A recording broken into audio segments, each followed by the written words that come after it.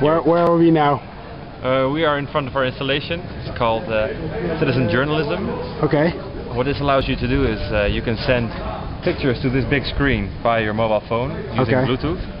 So say a picture of uh, an event you've been to or a good show you've seen or anything related to the festival or even beyond it.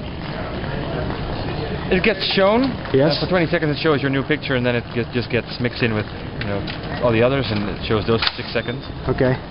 But the cool thing is that not only, not only can you show each other your pictures this way, but they get printed out by a matrix printer that we've Okay. to right let's, here. let's walk to the matrix printer. Yeah, let's do that. Okay. So this prints out all your pictures, um, prints out the date and all that stuff, Okay. and uh, we hang those up. Let's go there. It makes an awful noise as well. It's really great to hear that printer go.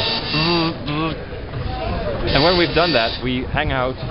We we, uh, we put up all those prints here on the on the wooden board. Okay. And we hang up some markers as well on, on little bits of stroke of rope string so people can uh, draw their comments around the picture. So, for instance, on the left you see Friday and it goes all the way to Saturday and then Sunday over there. Unfortunately, s- some people took down Friday, but this is Saturday and Sunday now.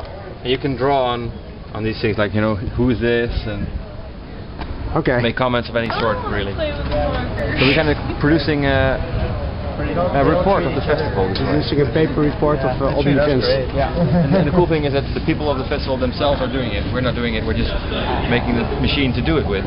Yeah. But people can send in their own pictures and their own comments, and give their view on how they like it. And that's about it. That's citizen journalism movies. This one I was actually more